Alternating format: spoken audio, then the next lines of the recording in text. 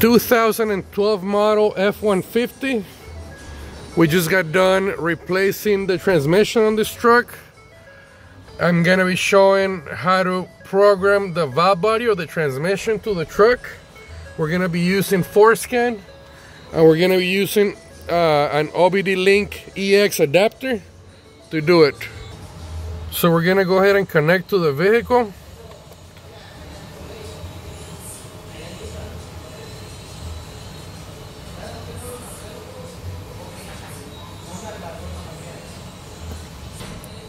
Once everything loads, we'll hit this icon right here.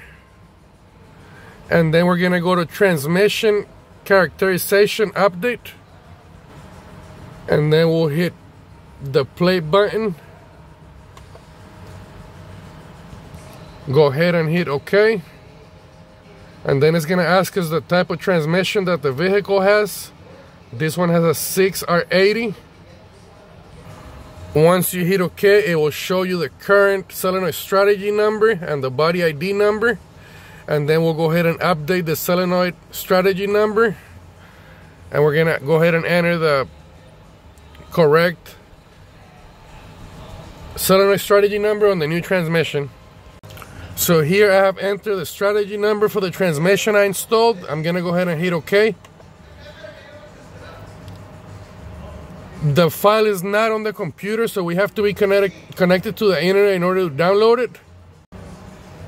We're gonna go ahead and click yes to download the file. And there it is, it's been updated. And we can confirm the new number right there. And that basically does it. It's a pretty straightforward procedure. Once that's done, um, you can erase all the codes and test drive the vehicle. It should shift smoothly right after you do that. All you need is Forscan software and the communicator. Like and subscribe for more videos. See you guys on the next one.